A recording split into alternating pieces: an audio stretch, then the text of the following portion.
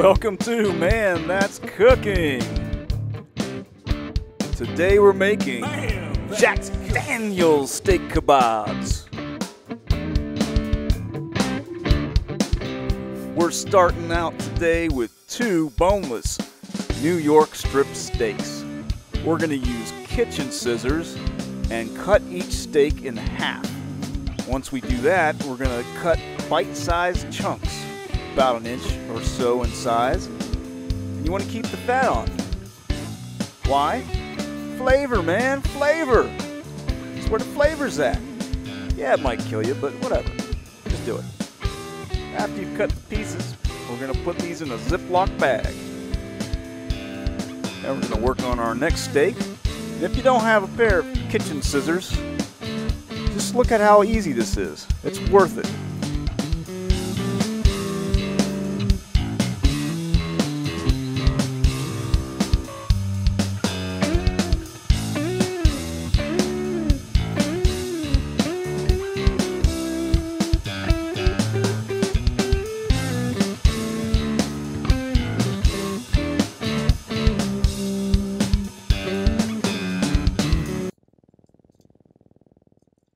So this recipe calls for two shots of Jack Daniels. We're using the two shot method.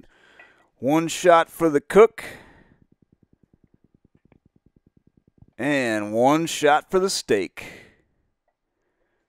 You may have noticed the football team logo on that shot glass. That team will make you drink.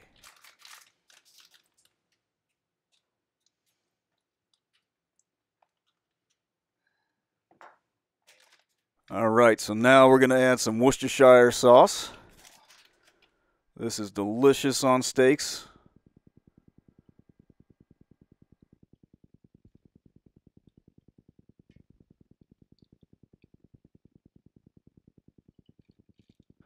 And we're adding our Everglades seasoning into the mix. Now we're going to seal up the bag and we're going to move around all the pieces of meat. Try to get them all evenly coated.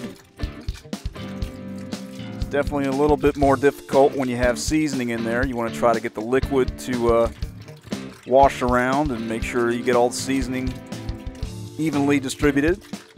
And we're going to put this bag of steak into the refrigerator overnight, or at least eight hours. Next, we have a package of portobello mushrooms. And what we're going to do first is wash the dirt off. Now, if you like dirt, I guess you can skip this step. Otherwise, make sure you get all the dirt off.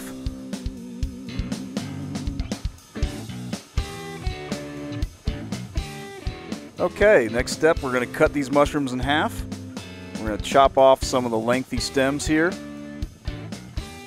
And once these are all cut up, we're going to put these in a Ziploc bag.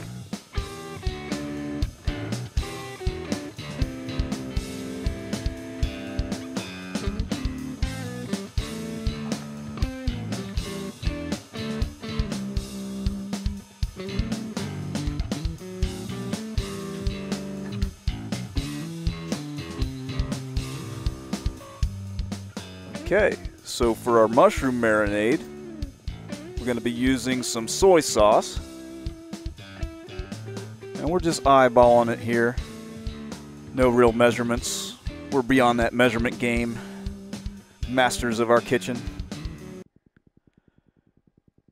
And we're going to add some Everglades seasoning.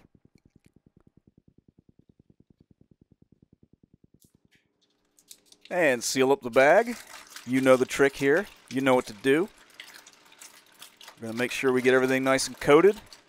And we're going to put these in the refrigerator overnight. Same timing as the steak. And now we have a half of a yellow onion. We're going to peel the skin off of this. And we're going to cut it into quarters.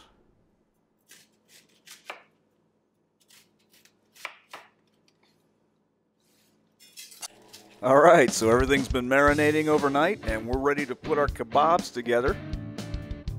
I don't think you noticed that a whole day went by, but that's okay. And this part's a bit labor intensive. It's going to take you a few minutes to get this done, but just push through it, get it done. It's worth it. Believe me, this is good stuff.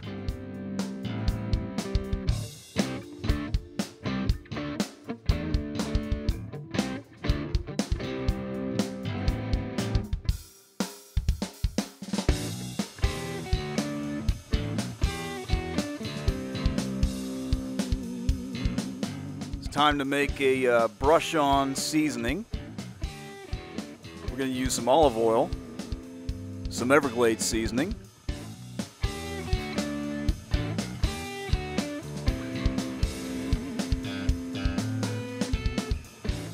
and we're going to add some herbs de Provence to that mix. Now we're going to take our barbecue brush, mix this all together, and then spread this on to the tomatoes and onions. So not only is that going to add some flavor, but it'll help keep these things from sticking to your grill.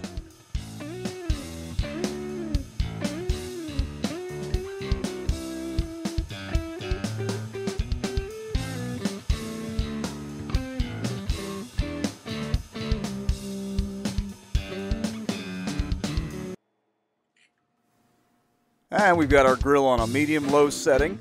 And we're going to put these on the grill and let them cook for about, oh, maybe five to seven minutes per side.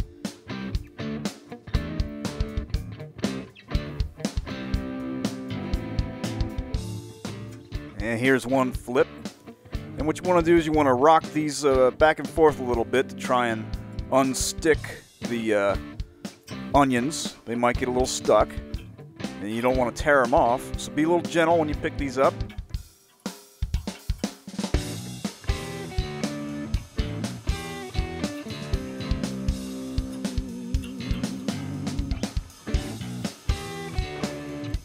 And here's another flip. Oh man, these are starting to look good.